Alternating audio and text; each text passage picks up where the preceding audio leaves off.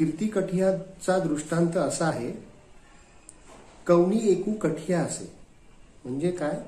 तर कोणे एक कठिया कठिया म्हणजे गुरव मंदिराची पूजा अर्चा करणारा त्या संपूर्ण मंदिराच्या परिसराची व्यवस्था राखणारा स्वच्छता करणारा गुरव पुजारी या अर्थाने तो भोगस्थानाची शुश्रूषा करी. शुश्रूषा करी म्हणजे काय? त्या मंदिराची सगळ्या नैवेद्याची जागा ती स्वच्छ करायचा त्या मंदिराच्या परिसरात झाडायचा सडा संमार्जन करायचा. सडा संमार्जन करी.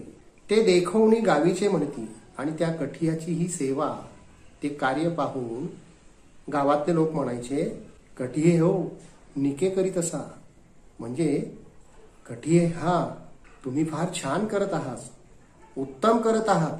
आणि हे ऐकून कठियाला म्हणजे पुजाऱ्याला खूप बरं वाटतं. तो मनातल्या मनात खूप समाधानी होतो.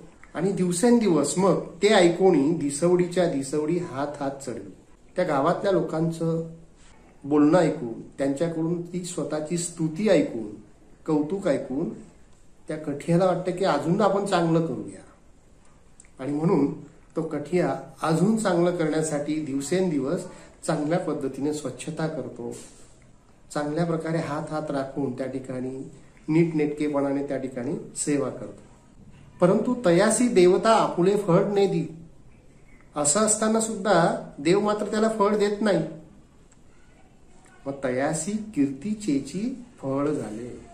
आणि अशा वेळेस चांगलं काम करणाऱ्या कठियाला त्याला जी गावकऱ्यांकडून मिळालेली कीर्ती प्रसिद्धी मिळाली हेच त्याला फळ मिळालं. म्हणजे या दृष्टांतातून की गावकऱ्यांनी त्या ठिकाणी कठियाचं कौतुक केलं. आणि ते पाहून कठियाला त्या एक प्रकारे त्याच्या चांगल्या गुणाचा चांगल्या कर्माचा एक प्रकारे मोह झाला आणि तो चांगल्या प्रकारे अधिक काम करू लागला. आणि चांगलं काम केल्यामुळे देवाने तरीही त्याला फळ दिलं नाही. शेवटी त्याला कीर्ती हेच फळ मिळालं. हेच आपल्याला या ठिकाणी सांगता येईल.